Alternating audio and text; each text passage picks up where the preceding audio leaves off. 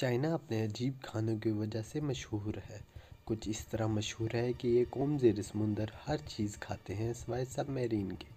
زمین کے اوپر چار ٹانگوں والی ہر چیز سوائے ٹیبل کے۔ ہر وہ چیز جو اڑتی ہو ہوائی جہاز کے علاوہ۔ اور ہاں ہر دو ٹانگوں والی چیز انسانوں کے علاوہ۔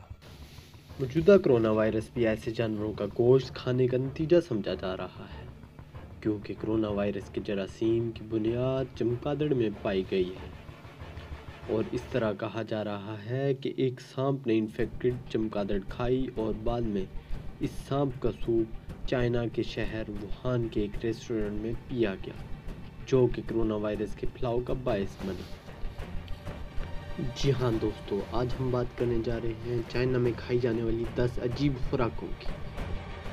نمبر دس پر ہے ڈیپ فرائیڈ سپائڈرز کوئی اس بالوں والے عجیب جانور کو منہ میں ڈالنے کا سوچ بھی نہیں سکتا۔ لیکن چائنیز اس کو کھانے کے عادی ہوتے ہیں۔ عام طور پر اس جانور کو کھانے کی میز پر دیکھ کر الٹی ہونے کی کیفیت لازمی ہے، لیکن چینی قوم کے لیے ہرگز نہیں۔ ان سپائڈرز کے پیٹ اور ٹانگوں پر سفید رنگ کا گوشت ہوتا ہے۔ جو کہ بقول چینی باشندوں کے صحت کے لیے نہایت مفید ہوتا ہے۔